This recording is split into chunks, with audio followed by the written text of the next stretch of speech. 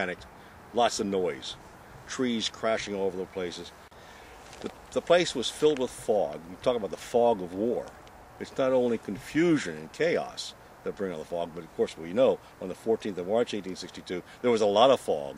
It was raining, it was foggy, and you had on top of that the uh, the smoke. So you could barely see in many cases.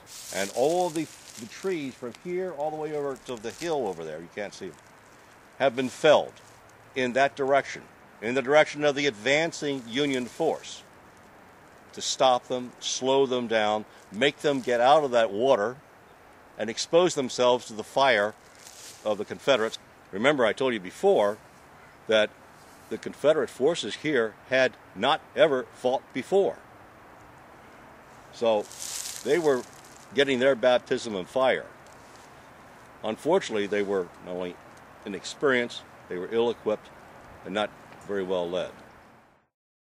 Uh, Abraham Galloway was born in uh, uh, Southport, uh, uh, at that time called Smithville, uh, south of Wilmington, North Carolina, in 1837.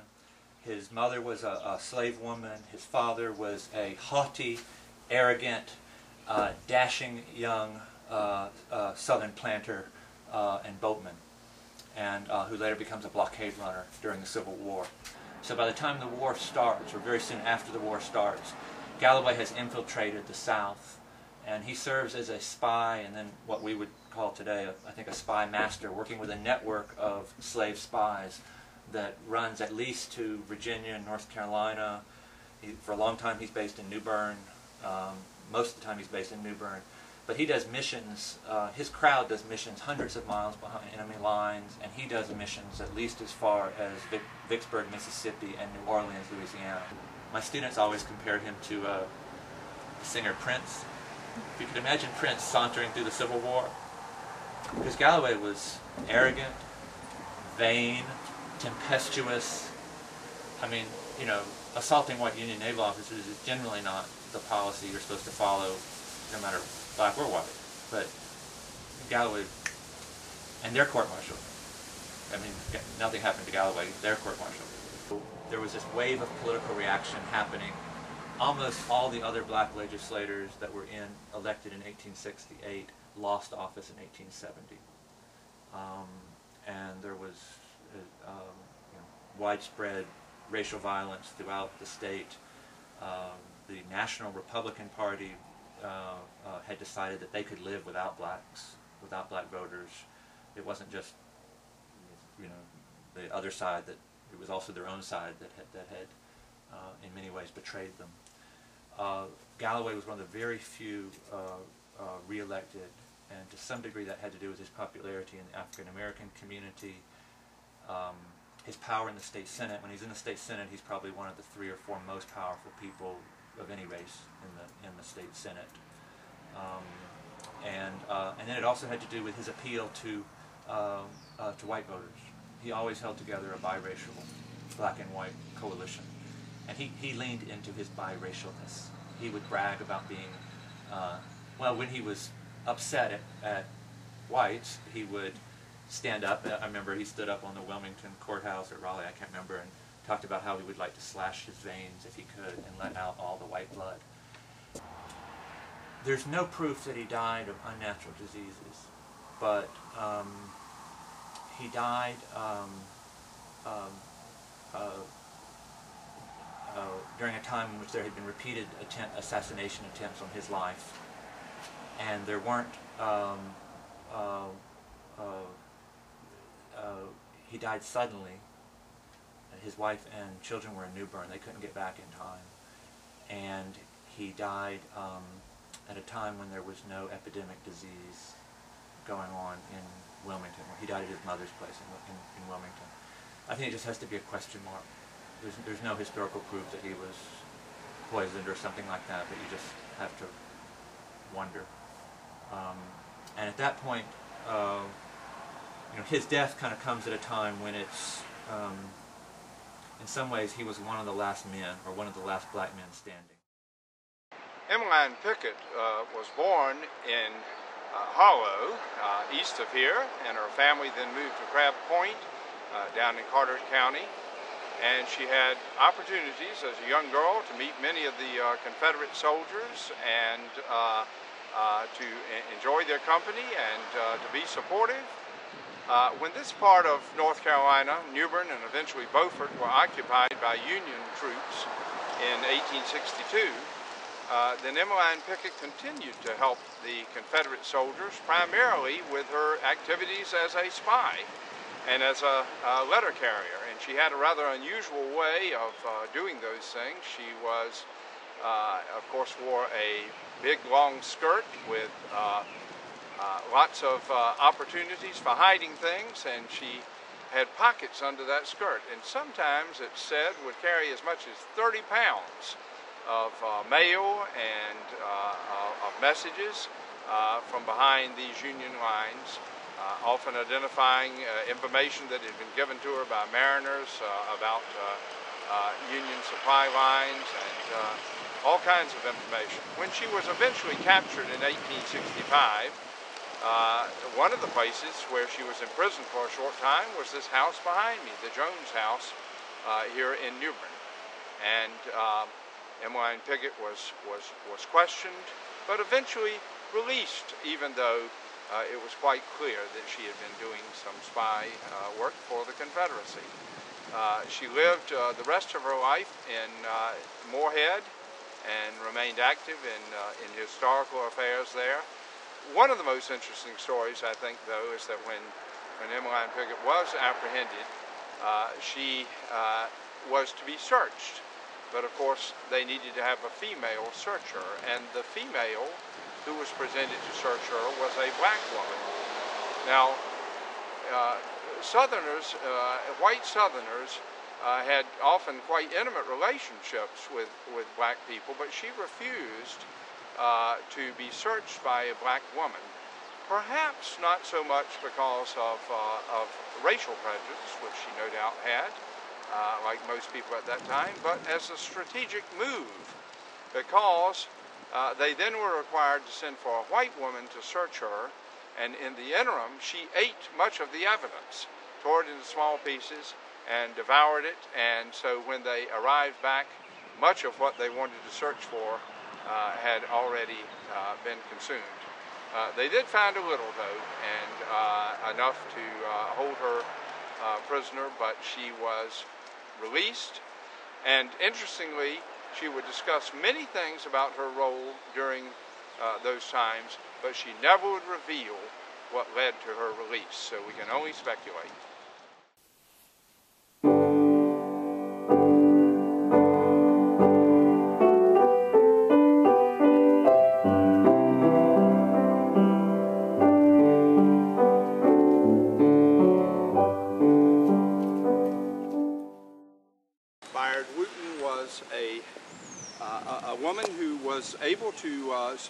Herself uh, through her photography during a very difficult period, particularly during the Great Depression.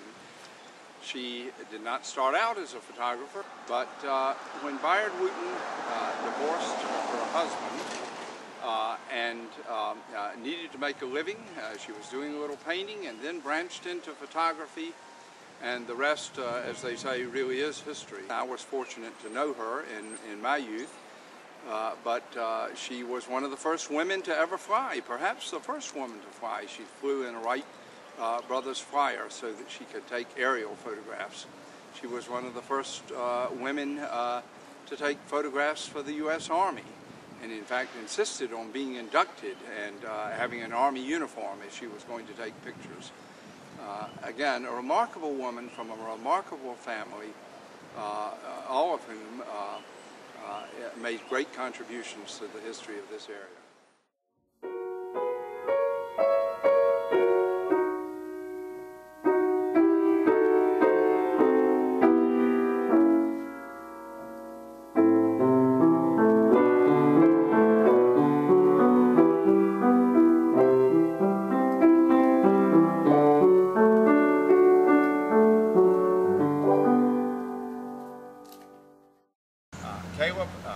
Established uh, a uh, drugstore here in New Bern uh, with a soda fountain, as many drugstores had in those days.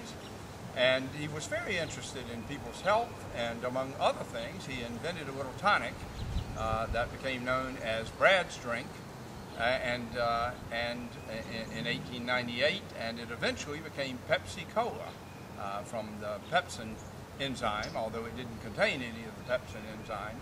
It was unusual in that it had uh, uh, had had none of the uh, drugs that some of the other cola drinks had at that time, and and therefore it was endorsed by many people for its health effects on digestion. Caleb drink, uh, uh, Brad's drink, eventually, as uh, I said, became Pepsi Cola, and uh, its uh, fame began to spread uh, beyond New Bern. Eventually, he moved his, his drugstore a block away to the corner of Middle and Broad Streets, and even built a bottling plant here in New Bern.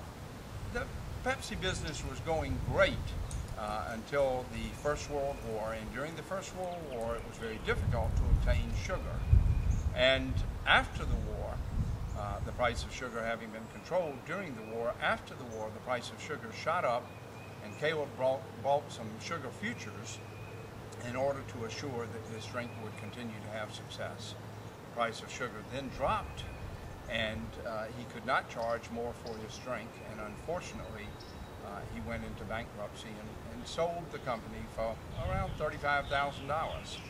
He returned to his pharmacy business uh, where he worked uh, for uh, the remainder of his life.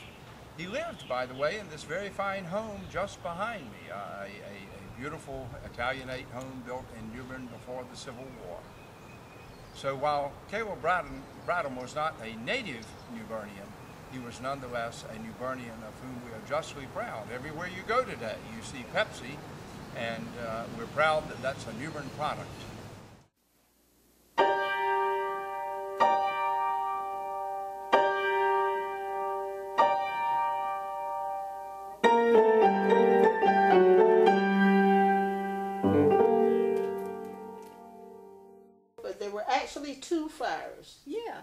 First One was at Roper Mill at eight eight thirty, And then one and then the started at second 10. one came at Kilmarnock Street in Hester Bryan's house. Yeah, right. And from there, the one on Kilmarnock Street is the one that supposedly, you know, nearly destroyed the whole town.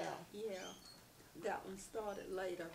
About an hour the later. ear- Earlier fire Yeah. went through and destroyed all the homes on George Street. Right, but the, the Second fire. firemen were already at the mill Yeah. fighting that fire, and oddly enough, they technically weren't supposed to be there because the mill was outside the city limits. But also, the mill was the great one of the biggest employers in town, so you wouldn't stand idly by and watch it burn. So, the other thing is that they were shorthanded because a lot of the people were out of town to a championship football game. So all of the firemen that were here responded to the fire at the mill. When the fire whistle called for the fire on Kilmarnock Street, they didn't respond with the first one. Of course, when the firemen got to the Kilmarnock Street, they didn't have the right equipment to hook up to the water hydrant, so they had to come back to the station to get the correct equipment, and while they were gone, another house started to burn, and when they got back, the wind had picked up, and it was just too late. Because it was such a big fire, they were trying everything, and when dynamiting didn't work, they went, well, they sent out a call for help, and firefighters from Washington, from uh, Greenville, from Kinston, not Greenville, Kinston, and Morehead City, the Coast Guard, Pamlico cutter was here helping to fight the mill fire, so they just came on over to help fight that fire. It is still the greatest fire fatality in the state of North Carolina, and they've had some really big fires since that time. But in the, in um, cost-wise, which was two million dollars back in the day, it was the greatest fire disaster in the state of North Carolina. It still is. Um, you know, when, when I met Miss Carter, she was probably 86, 7, 8. I visited her three or four times. And um, as y'all know, she was a, sort of a legendary um, uh, and imposing, intimidatingly imposing um, teacher, uh, public school teacher in the uh, African American schools in New Bern. And then I think she went through the, she retired right after integration. And um, she had been a small child um, um, uh, at the time of the fire and had to flee the fire as it swept through uh, her neighborhood. I remember her telling me stories about how people were running down the street telling her that St. Peter's was burning and I guess all the local churches eventually. And they took refuge uh, in the cemetery like a lot of people did. Um, some people were still burned in the, or some, some possessions I think were still burned in the cemetery uh, the winds were so high that sparks were flying, catching people. Um, and she described going back, um, uh, you know, several days later, and, and, you've probably all seen those photographs of what the neighborhoods looked like, of just one chimney after another, sort of graveyardy with nothing else but cinders. And they went back and couldn't, they couldn't even recognize where their street was for, for a long time. She was my fifth grade teacher, and she'd take us out on walks to see the history in New Bern. We'd come down and see Christ Church and the Federal Post Office, and she'd talk about the Great Fire of 1922 and how it burned most of New Bern and how her friends and her family's house was dynamited rather than burned. The city thinking they could set up a fire break, dynamited houses on Queen and Metcalf Street to hopefully present a fire break, but the fire just leapt right over it, started the trees are burning. And then it went down George Street, around to Pasteur Street, and burned, burned, burned. Like a lot of people, they moved. Um, uh, they moved in with a relative. I think she said they had six people in a room something like that, six or seven people, uh, four kids in a bed for a long time. Um, she said that they were, she was so young that they considered it kind of an adventure. You know, the kids, that all of a sudden, you know, six people in a room is sleepover time, sort of, you know, and, and um, uh, but she remembers that the, the toll that it took on her mother and the rest of the family while they, they lived in the tent city for, um, no, I guess they, I think they lived in the tent city for a little while and then went to the relatives. I think they, you know, there was a, a large Red Cross tent city for, for a while. Each family was given two tents, one for sleeping and one for cooking. The, they had a, um, a hospital tent, they had um, health department tent, and it was just like a tent colony, a whole community, sort of like they do now when they go out on military bivouac. Everything you needed was in Tent City. Was your daddy here during the fire? My daddy might have been. Uh-huh. Because he rebuilt, didn't he? Yeah. Yeah, he rebuilt the fire. I mean, your house. He was a what? Mm. What was your daddy? A brick mason. Uh huh. Yeah. So he helped to rebuild your house that burned in the fire. Okay. Did your uh, daddy, did he help rebuild the uh, AME Zion Church? Yeah. Where would everyone go to church after the church was destroyed, Mother? Do you know? Went down in the basement. Down in the basement. St. Cyprian's wasn't burned, but, No, St. but Cyprian, St. Peter's was. St. Cyprian's became the hospital. Saint Cyprian, my my. Oh, St. I Cyprian's, said Saint the old St. Luke. Yeah, Yeah. Hospital? yeah. Reverend Johnson was, he wasn't the minister there then. Uh-huh. Saint Cyprian, because I have some family members, the Dillahunts, that was related to Susie Conrad. Uh-huh. Her son was born in Saint Cyprian's church, and they named him Cyprian. Saint Cyprian. Huh? His name was Saint Cyprian. His name was Cyprian Dillahunt. Cy- yeah. Saint Cyprian Emergency Dillahunt. That's what the thing says. Saint Saint Cyprian? Cyprian Emergency Dillahunt. I never knew. That's the name they Oh. gave him. They called him Sip. Yeah, I know. Really? They Yeah. live right next door They to named us. him Saint The doctor Cyprian. named him Saint Cyprian Epi- Emergency Well, I know, Dillahunt. I know Saint Cyprian. I know they named him. I know. He just Saint died a couple Cyprian. years ago, right? Yeah. Oh, he did? Uh-huh. I think it kind of showed the type of town that was in existence at the time and the way that people came together to help and work. Of the 3,020 um, families affected, only 20 of them were white and the rest were black. So that was in itself kind of stark.